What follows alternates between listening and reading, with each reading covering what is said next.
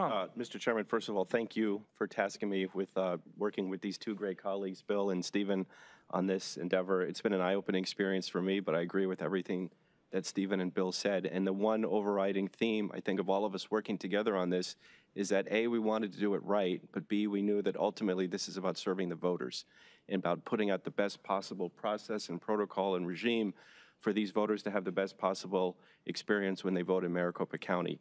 Um, for me, I'm always about improvement. I'm always about moving forward, about the future.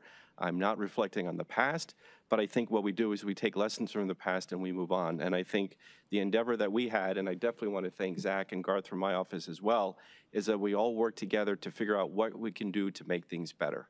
And I think that is a thing that we can be proud of. This is a document that I'm proud of.